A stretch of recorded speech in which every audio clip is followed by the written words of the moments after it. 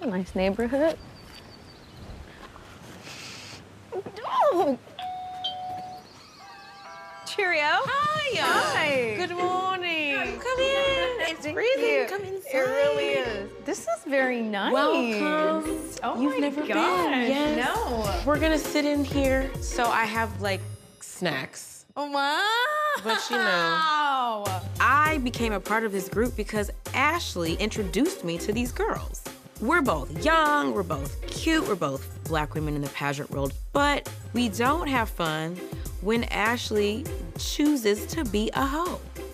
I'm gonna keep it positive, and I hope we could have more good times. I'm a happy camper. I have some cheese, some wine, some crackers, some sushi, fruit. I feel like I'm a Roman emperor over here. Okay, so what is going on? I saw the things. Yeah. And it's just upsetting because, you know, we had a timeline. So were you gonna announce it together? Yeah, we did a joint statement. Oh. It's been waiting. So yeah, he's he flew to Vegas this morning, even though he got a vasectomy on Friday. I know. Okay. So he's been ignoring me. He finally just texted me back and was like, "Can we please talk tomorrow? I need 24 hours." So do you think he's upset about it coming out? Yeah, I think he like feels like he doesn't have any autonomy. It's a hard, it's a hard thing for these men to understand, but you know, Child. They let be in their feelings. Ooh. don't they? So, how are you guys living together? I thought for the separation to be official, you had to be living separately.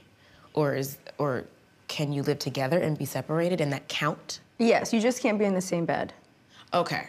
You can be in, under the same roof, especially with children. Okay. They okay. have so many parameters for kids, Yeah. but you cannot sleep in the same bed, and you're not meant to have sexual contact. So how are you? Your hair looks good. It's keep it's, it's doing a lot. I'm just like in a funk right now. Actually, I will say that this friendship group helps you get out of your funk. Girl, the friendship group is why I had to cancel IVF.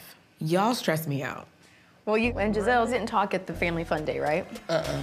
Has Chris just said, let me just say, I'm sorry if you felt some sort of way, let's move on? He's not comfortable. What? Chris doesn't really want to be around anymore because of now Gizelle's. Really? I know Gizelle. I have sat and listened to Gizelle scheme and plan all kinds of shenanigans around people in this group. And you know her too, because you've known her longer than me and you're closer to her. Like, that's your friend. Yeah, she's she's got some of my secrets up in, that, uh-huh. in that box. I heard you was already in the streets. I heard that you was down to the restaurant. I was with a hockey player? You were, that's what they said. you're laughing, you're turning red. Don't be ashamed. This city is too small! Yes, bitch. No, but we went, it was very casual. I was out with my friends. We went to a bar, and there was a guy there, and we actually had dinner. And it was fun. I had a good time, but I am going to compare everybody to Michael. He can talk about anything, like aliens and all types of weird shit. If you can't talk about aliens, then the date is over, bro. You better pay this bill and let's keep it moving, you know? Oh man, people really do talk, don't they? Jesus. Girl, now you know people were gonna- know nothing. Stuff I don't even want comes to me. People used to tell me so much stuff about Karen and Ray. Oh my God. She used to think she was sneaking out of town, going to restaurants. Bitch, we see you. By Like, herself? With someone that wasn't right.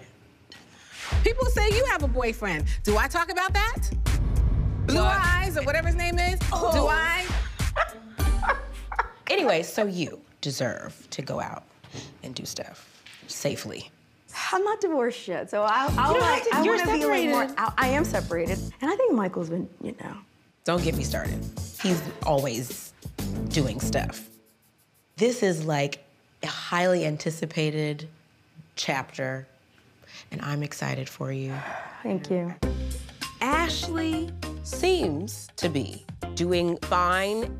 She doesn't need old balls. She deserves young, tight ones.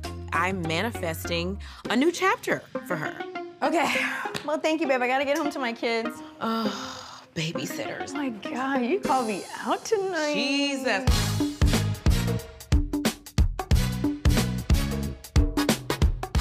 You guys want to come out and have dinner? Yeah. Jeremiah. Pretty out here. Put that better away Baby, what we're here. happened to the runner on the table? I'll go get it. We don't eat without centerpieces in this family.